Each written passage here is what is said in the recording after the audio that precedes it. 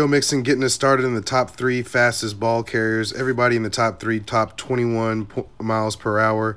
Joe is no different, getting loose right there. Saquon, also 21.11. You can see those big legs churning. He looked explosive as ever last week, and it makes you wonder how fast that defensive back was going right there. And then finally, we got Chase Claypool on the reverse. He is really moving. He gets the edge on this defender right here. He gets a block, sure, but that's pretty fast.